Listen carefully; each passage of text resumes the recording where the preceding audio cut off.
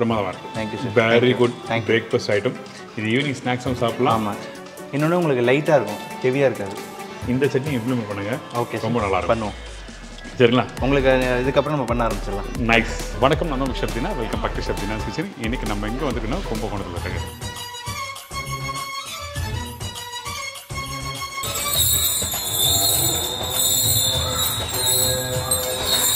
இன்னைக்கு நம்ம என்ன ரெசிபி பார்க்க போறோம் பார்த்தீங்கன்னா அரிசி உப்புமா.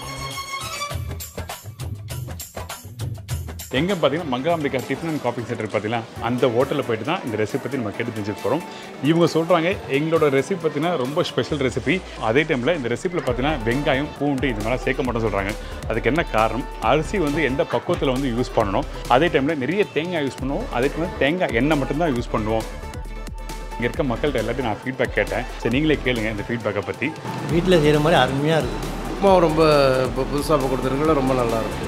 இந்த அரிசி உப்புமா மிகவும் சுவையாக உள்ளது. சூப்பராக இருக்கும் இப்போது இந்த ரெசிபி எப்படி ரெடி பண்ண சொல்லி தெரிஞ்சுக்கலாம். வாங்க இந்த ரெசிபி பற்றி நம்ம சொல்லி தரப்போறாங்க திரு Vignesh. Mangalambika coffee and tiffin சென்டருக்கு பார்த்தீங்களா அவரோட சன்னு தான் இன்றைக்கி வந்து ரெஸ்டாரண்ட்டை பார்த்துட்டு வராரு அவர்கிட்ட போய் தான் இந்த ரெசிபி பற்றி நிறைய விஷயம் கேட்டு தெரிஞ்சுக்க போகிறோம் நம்ம ஈவினிங் டின்னருக்காக ஸ்பெஷலாக ரைஸ் உப்புமா கொண்டு வந்துருக்கோம். ட்ரெடிஷ்னல் ஃபுட் ஸோ ஈவினிங் நம்ம ஸ்பெஷலாக கண்டி கஸ்டமர் கொடுக்கணும் அப்படின்ட்டு எங்கள் பாட்டி செஞ்சது அடுத்து எங்கள் அம்மா செஞ்சாங்க. அடுத்து இப்போ நான் பண்ணியிருக்கேன்.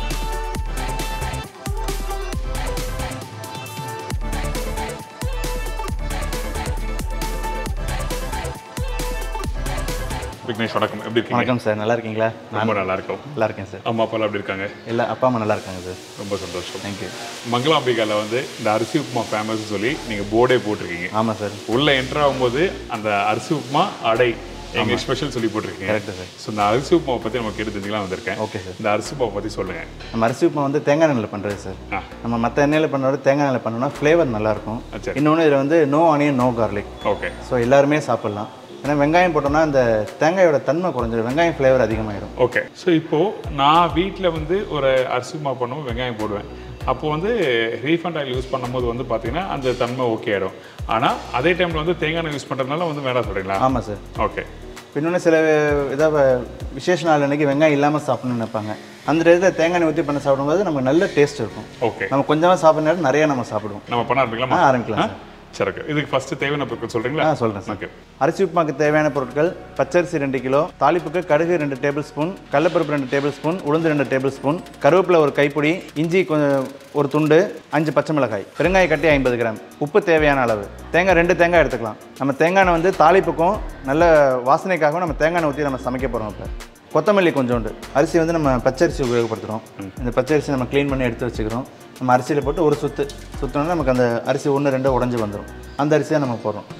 இப்போ இது இந்த அரிசியை நம்ம யூஸ் பண்ணும்போது அரிசி வந்து வாஷ் பண்ணி ஊற வச்சு காய வச்சு அதில் வந்து கிரைண்ட் பண்ணுறீங்களா இல்லை டேரெக்டாக அரிசி க்ளீன் பண்ண அரிசி வந்து க்ளீன் பண்ணி நம்ம அரிசி வந்து திரும்பி நம்ம ஒரு வாட்டி க்ளீன் பண்ணுவோம். க்ளீன் பண்ணி நம்ம அதை அப்புறம் காய வச்சு அரைச்சிக்கணும். ஓகே எதுக்காக கேட்டீங்கன்னா நம்ம நார்மலாக வந்து பச்சை அரிசியை வந்து நீங்கள் வந்து குறை குறைன்னு அந்த கஞ்சிக்கு செய்வீங்க அதையே ஆமாம் அந்த ஆனால் ரொம்ப தூளாயிடக்கூடாது தூளாயிடுச்சுன்னா நமக்கு உப்புமா குழஞ்சு போயிடும். ஓகே அதனால வந்து குறை குறை பக்கம். ஆமாம் அதான் ஒரு ஒரு சுற்று சுற்றினோன்னா நம்ம ரெண்டாயிடும். அந்த இது இருந்தால் போதும். சரி ஃபைன் ஃபைன் அது இந்த மாதிரியா? ஆமாம் சார் இந்த மாதிரி. காமிங்க இதோ பாருங்க இந்த மாதிரி.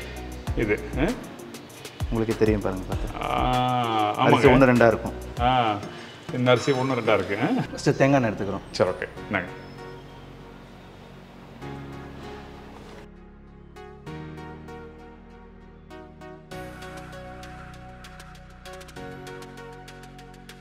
இப்போ தேங்காய் ஊற்றியாச்சு ஊற்றி வச்சு சூடாயிரு அதுக்கப்புறம் இப்போ வந்து நம்ம ஃபஸ்ட்டு பெருங்காயம் போடுறோம். பெருங்காயம் ஃபர்ஸ்டா கடுகு ஃபர்ஸ்ட் இல்லையா? ஃபஸ்ட்டு பெருங்காயம். ஓ அப்படியா? ஆமாம். சரி ஓகே நாங்கள் பெருங்காயம் கொஞ்சம் பிச்சு சின்ன சின்னதாக போட்டுக்கலாம். ஆ சரி ஓகே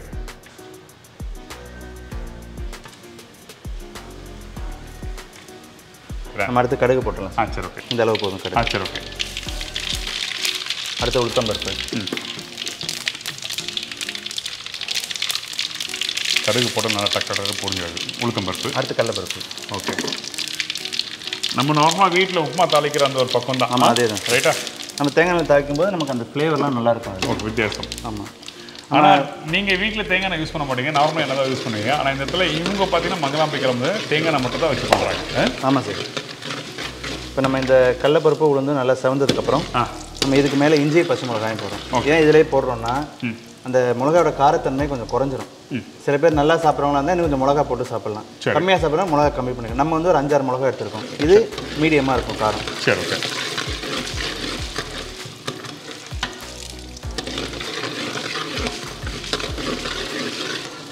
இது இப்போ செவக்க ஆரம்பிச்சிருக்கு. லைட்டாக இப்போ நம்ம அதை ஆட் பண்ணிக்கலாம். இந்த பக்குவம். ஆமாம் இந்த இஞ்சி பார்த்தீங்கன்னா நீங்கள் வந்து வீட்டில் பண்ணும்போது பார்த்தீங்கன்னா வதக்கிட்டு நீங்கள் நல்லா வாசனை விடுவோம் அதே டைமில் அதிகமாக வதக்கினாலும் கொஞ்சம் அந்த ஒரு கசப்பு தன்மை கொடுக்கும். இப்போ? நம்ம அடுத்து தண்ணி விடணும் தண்ணியா? ஓகே சரி ரெண்டு கிலோ அரிசி எடுத்திருக்கோம். ஓகே இதுக்கு வந்து ஒரு ஃபோர் லிட்டர் ஆஃப் வாட்டர் வேணும். ஓகே சரி.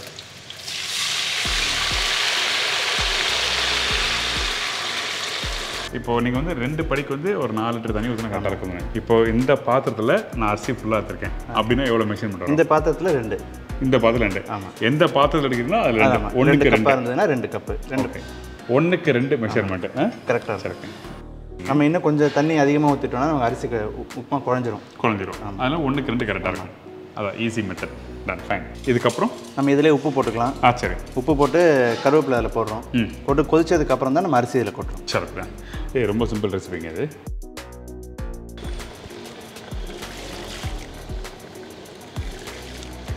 ஸோ இது தொட்டு சாப்பிட்றதுக்கு நம்மளுக்கு என்ன பண்ண போகிறோம் தொட்டு சாப்பிட்டு வேர்க்கடலை சட்னி பண்ண போகிறோம் அப்படிங்களா? ஏய் கடையில் கொடுப்பீங்களா நீங்கள் கடையில் வேர்க்கடலை சட்னி கிடையாது. வேர்க்கடலை சட்னி போட்டு சாப்பிட்டா நல்லா இருக்கும் சரி ஓகே அப்போ அதுவும் பண்ணி காமிங்களா பண்ணி காமிக்கிறேன் ஓகே நான் ஆக்சுவலாக வந்து அந்த அரிசி உப்புமா மட்டும் பண்ணலாம் பார்த்தோம். இது தொட்டு சாப்பிட்றது வேர்க்கல் சட்னி செய்ய போகிறோம் இப்போ உப்பு போட்டாச்சு கொதிக்கணும் சார். அடுத்து நம்ம கருவேப்பிலை கொஞ்சம் போட்டுக்கலாம் எப்போவுமே நம்மளோட சவுத் இந்தியன் சமையலில் ரெண்டு முக்கியமான பொருட்கள் ரொம்ப ரொம்ப முக்கியம். அது என்ன கேட்டிங்கன்னா இந்த கொத்தமல்லி கருவேப்பிலை. கொத்தமல்லி கருவேப்பிலை இல்லாத உணவு எதுவுமே கிடையாது. எதுவுமே இல்லை. சரி கொதிட்டோம் அப்புறம் பார்க்கலாம். இப்போ தண்ணி கொதிச்சிருச்சு. சார் அடுத்து நம்ம அரிசி போட போகிறோம் சரி. அரிசி தான் முக்கியம் அதில் ஆ. ஏன்னா நம்ம ரொம்ப நைஸாக அரைச்சிட்டோம்னா உப்புமா குழஞ்சு போயிடும். முழு அரிசியை போட்டோம்னா தண்ணி பத்தாது. அதனால் ஒன்றுக்கு ரெண்டாக போட்டு இந்த மாதிரி தான் நொய் மாதிரி இருக்கும். ஆமாம். அப்படி நமக்கு இந்த அரிசி பண்ண முடியலன்னா நம்ம கடையில் நொய் நொய் அரிசி வாங்கிக்கலாம். வாங்கும்போது கொஞ்சம் தண்ணி கூட ஊற்றிக்கணும் ஏன்னா அரிசி கொஞ்சம் பெருசாக இருக்கும். சரி இந்த அளவுக்கு நைஸ் இருக்காது அது. அதனால் கொஞ்சம் தண்ணி கூட விட்டு பண்ணோன்னா உப்புமா கரெக்டாக பதத்துக்கு வந்துடும் அரிசி கொட்டலாம் போடலாம் ஃபாஸ்ட்டாக போடலாமா? போகலாம் சார். ஓகே ஏன்னா இந்த ரவை போடும்போது நூறு ஆள் சேர்த்து போடணும்னு சொல்லி சொல்லுவாங்க. ரைட்டா நம்ம இந்த இதில் கொஞ்சம் கட்டி இருந்தால் கூட நம்ம தேங்காய் போடுறோம் இல்லையா. தேங்காய் போடும்போது அந்த கட்டி உடஞ்சிரும் அதுலேயே. அப்படிங்களா? சரி ஓகே உடச்ச அரிசியை போட்டாச்சு. இப்போ இது லைட்டாக கொதி வரும். கொதி வந்ததுக்கப்புறம் நம்ம தேங்காய் துருவி வச்சுருக்கோம் இல்லையா? அந்த தேங்காய் இதில் கொட்டிடலாம். ஷூர் ஃபைன் ஸோ இது வந்து அந்த கெட்டியாகவும் அது மாதிரி பயப்பட வேண்டியதா பயப்பட வேண்டியதில்லை. ஓகே இப்போ இந்த அரிசி போடும்போது அடுப்போட ஃப்ளேம் வந்து மீடியம் ஃப்ளேம் மீடியம் ஃப்ளேம் தான். வந்து நம்ம உப்புமா வெந்நீர் கொதிச்சு ரெடி ஆயிடுச்சு. அரிசி போட்டு வெந்துருச்சு. நம்ம இதுக்கு மேலே தேங்காய் போடுறோம். ஓகே. ஸோ இது மாதிரி கெட்டியான பக்கம் தான் நம்ம வந்து தேங்காய் போடுவோம் ஆமாம் தேங்காய் கொட்டிடலாமா? ஆ. ஓகே தேங்காய் போட்டாச்சு. தேங்காய் நிறைய இருக்கு ஆ? ஆமாம் சார். நம்ம தேங்காய் எண்ணெய் தேங்காயும் சேர்ந்து நமக்கு நல்ல டேஸ்ட் கொடுக்கும். நல்லா டேஸ்ட் கொடுக்கும். ஆமாம் ஆ. நம்ம மேலே கொத்தமல்லி போட்டுக்கலாம். சில கொத்தமல்லி எடுத்து கொடுங்க. சரி.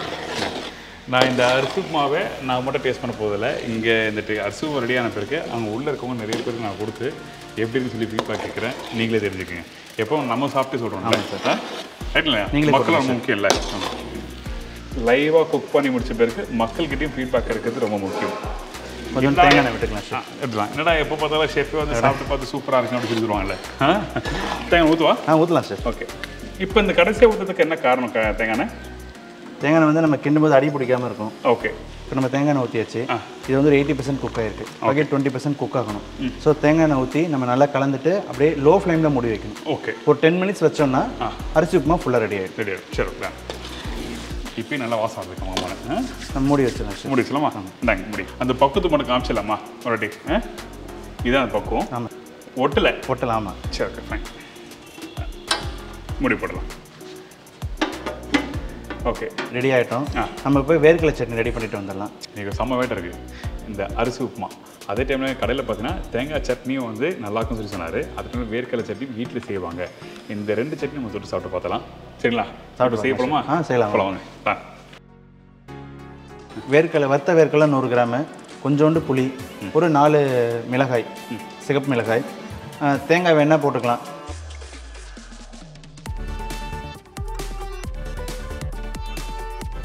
சரி இப்போ தம்மு போட்டு ரெடி ஆயிடுச்சு. ஆ சரி. அந்த டயத்தில் நம்ம வேர்க்கடலை சட்னி ரெடி பண்ணிட்டோம். சரி ஓகே அரைச்சிட்டு மேலே தாளிப்புக்கு வந்து கடுகு உளுத்தம்பருப்பு சிகப்பு மிளகாய் கொஞ்சோண்டு கருவேப்பிலை. சரி தாளிச்சு ரெடி ஆயிடுச்சு. போட்டு ச வேர்க்கடலை சட்னி ரெடி ஆயிடுச்சு. இதை போட்டு ஆ ஓப்பன் பண்ணலாம் ஆ. சார் ஆ நல்லா ரெடியாகி கெட்டியாக இருக்கு. ஆ? சரி ஓகே போடுங்க.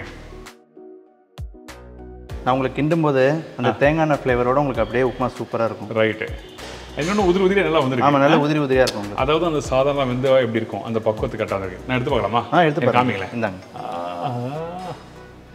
நான் பார்க்குறேன் இந்த இடத்துல அந்த சாதம் வந்து கையில் எடுக்கும்போது பார்த்தீங்கன்னா அந்த அந்த ஒன்று பார்த்தீங்க உடச்சது வந்து தெரியுது. கரெக்ட் அந்த சாதம் வந்து அதே நம்ம டைம் நைஸாக உடச்சிருந்தோம்னா உங்களுக்கு குழஞ்சி போயிருக்கும். குழஞ்சு போயிருக்கும். இது உங்களுக்கு தனித்தனியாக தெரியுது. தெரியுது. நைஸ் அப்புறம் தேங்காய் அந்த கடலைப்பருப்பு உளுத்தம் பருப்பு எல்லாமே கையில் படுது. நீங்கள் அதை சாப்பிடும்போது அந்த கிளவு வந்து கொஞ்சம் கருகரன்னு இருக்கும். அந்த டேஸ்ட் வரும் நைஸ் ஓகே சூப்பர் இப்போ டேஸ்ட் தெரியுங்களா? ஆ தரேன்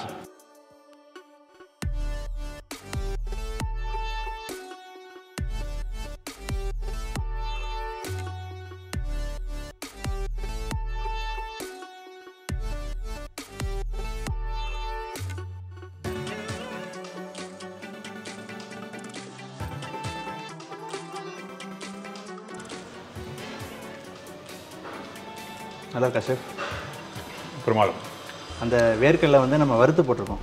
வறுக்காமல் போட்டோம்னா அந்த கொஞ்சம் எண்ணெய் வாசனை வரும் அதில். ஓகே சில பேருக்கு அது ஒத்துக்காது. சில பேருக்கு ஒத்துக்கும். அதனால நம்ம வறுத்து போட்டோம்னா அந்த பிரச்சனை கிடையாது. நிறைய. தாராளமாக நம்ம சாப்பிடலாம். சட்னிக்கு. நைஸ் அதாவது வேர்க்கடலை சட்னி பண்ணுவோம். வறுத்த வேர்க்கடலை யூஸ் பண்ணுறது சொல்கிறதுக்கு எதுக்கு காரணம் கேட்டினா கொஞ்சம் அதிகமாக சாப்பிட்டா தலை சுத்தல் அந்த மாதிரிலாம் வரும். அதனால் பெரியவங்க நம்ம வறுத்து போடுவாங்க. ஆமாம் ஓகே நீங்கள் சொல்லுங்க ஞாபகம் இருக்குது பிரமாதம் thank you sir very good combo thank you thank you நான் ஸ்மால் ரிக்வஸ்ட் உங்கள்கிட்ட சொல்லுங்க சார் இந்த அரிசி உப்புமா பண்ணுறீங்களே நான் தேங்காய் சட்னி உங்கள் கடையில் சாப்பிட்ருக்கேன் ஓகே. இருந்தாலும் இந்த சட்னி இம்ப்ளிமெண்ட் பண்ணுங்க. ஓகே ரொம்ப நல்லா பண்ணுவோம். சரிங்களா? உங்களுக்கு இதுக்கப்புறம் நம்ம பண்ண ஆரம்பிச்சிடலாம். நைஸ் இருக்கும். Thank you sir very good breakfast item இது ஈவினிங் ஸ்நாக்ஸும் சாப்பிடலாம். ஆமாம் நீங்கள் வந்து டின்னராகவும் நம்ம சாப்பிடலாம். எப்போ வேணாலும் நம்ம சாப்பிடலாம். இன்னொன்று உங்களுக்கு லைட்டாக இருக்கும். ஹெவியாக இருக்காது. ஆமாம் சீக்கிரம் டைஜஷன் ஆகிடும் இதுல highlight- பெருங்காயம் போட்டிருக்கோம் நம்ம. இதில் ஹைலைட்டே இப்போ பார்த்தீங்கன்னா இந்த தேங்காய் ஒன்று ரெண்டு சாப்பிடும்போது இந்த பல்ல புடம்பு பார்த்தீங்கன்னா நறுக்கு நறுக்கு நறுக்கு. கடலப்பருப்பு உளுத்தம் பருப்பு அப்புறம் அந்த தேங்காயோட வாசம் அந்த ரைஸ் எஸ்பெஷலி உடச்சி ஒன்று பாதையை உடச்சி போடும்போது நீங்கள் அந்த பல்ல பட ஆரம்பிக்கும். ஒரு ஒரு நைஸாக இருக்காது. மென்று சாப்பிட்ற மாதிரி இருக்கும். ஆமாம் sir very good super thank you so much thank you thank you அருமையான அரிசி உப்மா எனக்கு நம்ப தெரியுங்களா கண்டிப்பாக இங்கே வந்து எப்படி வந்து கடையில் சாப்பிட்றது எப்போல்லாம் கிடைக்கும் அதை பத்தி சொல்லுங்க. Mangalambika coffee and tiffin centre Kumbeswaram கோவிலுக்கு பேக் சைடில் இருக்குது evening five PM to ten PM available நீங்கள் ஃபோன் பண்ணிட்டு வாங்க. என் நம்பர் தரேன். Nine eight nine four seven nine three zero three one அதே டைமில் இந்த இந்த அரிசி உப்மா ட்ரை பண்ணி பாருங்க. ட்ரை பண்ணி பார்த்து ஃபீட்பேக் கொடுங்க. கண்டிப்பாக கண்டிப்பாக நீங்கள் வீட்டில் அவசியம் ட்ரை பண்ணி பார்த்துட்டு எங்களுக்கு சொல்லுங்கள் ஆமா. இதே டேஸ்ட் உங்களுக்கு வரும் கண்டிப்பாக நிறைய அளவுக்கு பொறுமையாக பண்ணணும் நம்ம. கண்டிப்பாக அப்படியே கமெண்ட் செக்ஷனில் கொஞ்சம் ஃபீட்பேக் கொடுங்க. மறந்துடாதீங்க. சரிங்களா? Thank you thank you so. Much. Thank you இன்றைக்கி நம்ம சேனலில் வந்து பார்த்தீங்கன்னா நல்லா அருமையான அரிசி உப்புமா எப்படி ரெடி பண்ணுறது பார்த்துருப்பீங்க. உங்கள் எல்லாருக்கும் ரொம்ப பிடிச்சிக்கும் ட்ரை பண்ணி பாருங்கள் பர்டிகுலராக நீங்கள் தேங்காய் சட்னியும் தொட்டு சாப்பிடலாம். என்னோட சஜஷன் வேர்க்கடை சட்னி. இவங்க சொல்லி கொடுத்த அந்த வேர்க்கடை சட்னி மெத்தடில் நீங்கள் ட்ரை பண்ணால் ஐம் ஷோர் டெஃபினட்டாக நீங்கள் எல்லோரும் விரும்பி எம்மியாக இருக்க சொல்லிட்டு ஒரு கண்டி இல்லாமல் ரெண்டு கண்டி சாப்பிடுவீங்க. அந்த அளவுக்கு சூப்பராக இருக்கும். இதே மாதிரி நான் இன்னொரு நாள் ஒரு புது ரெசிபி செஞ்சுக்கிறேன். நன்றி வணக்கம். C Baba taker thank you